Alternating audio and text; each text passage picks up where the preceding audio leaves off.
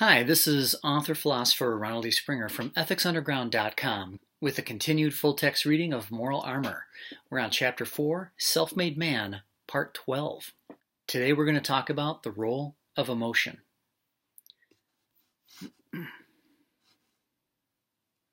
What part do emotions play in cognition? The hero of any story is always a just, strong, honorable mind, compelling an able body into action. Notice how his negative emotions are a reaction to the conflict and not an element of the solution.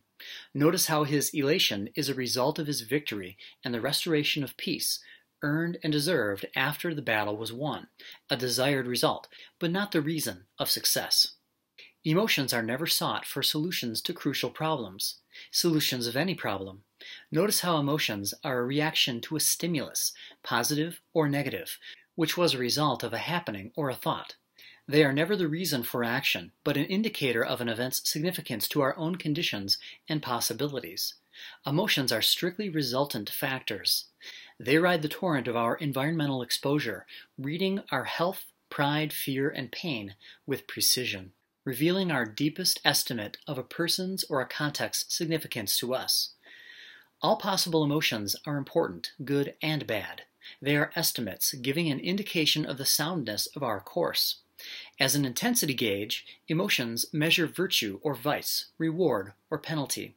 Emotions are not volitional phenomenon, but the result of volitional phenomenon. The result of choices.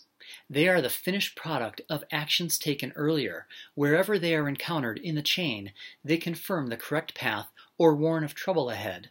They signal a fork in the road, indicating an alternate route, but they do not provide the map. Proper or improper cognitive effort is responsible for every human action. Self-made man considers his emotions to be just one of the many gauges on his control panel and patterns his intellectual effort to use his mind most effectively.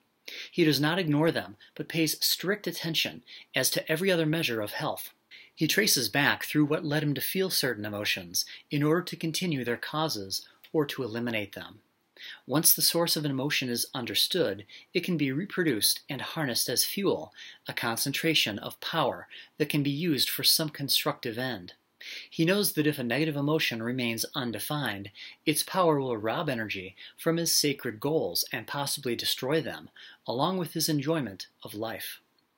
Morally, self-made man is motivated by the anticipation of all the pleasure that can be obtained by bettering his condition. A mind at every turn chooses right or wrong, good or bad. It is simply a choice, a decision made, either based on reason or based on non-reason. Fear and elation are not perceptual existence. They are psychophysiological reactions based on the projection of dread and eagerness, which is itself a product of proper or improper conceptual effort. Emotions are a second-level resultant indicator. Their implications are accounted for by reason, reason being the faculty of judgment which is rooted in your five-sense awareness and is the only sound, predictable, repeatable base in which to entrust any decision. Well, that's all for now. Next up, we'll explore our sixth sense, what I call inertial awareness. Click subscribe and leave a thumbs up if you'd like to help wipe out moral confusion fast with nature's moral armor and make the world a better place. Please leave comments or questions and I'll be glad to explore those topics further with you. Thanks for watching. See you next time.